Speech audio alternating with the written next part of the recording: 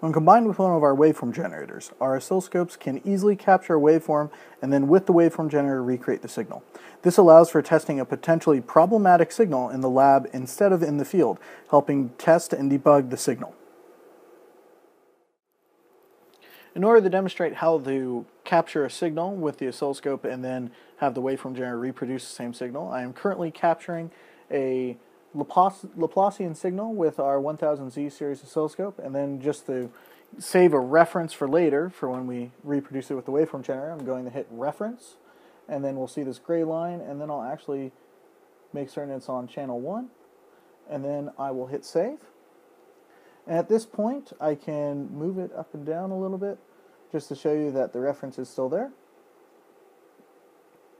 And then what I'm going to do is I'm going to connect our 1000Z series waveform generator with the USB cable to the back of the 1000Z series scope.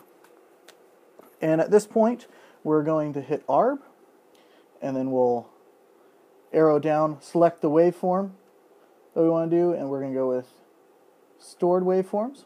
And then from here, we want to select directory. We want to change this over to the 1000Z series that we have.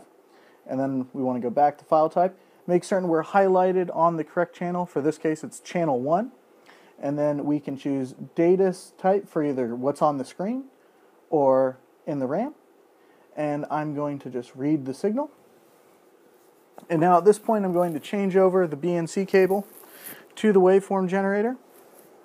And we can see on the scope that it's been reproduced. And I'll move the reference once again just to give you a another sense of the two signals that were being captured.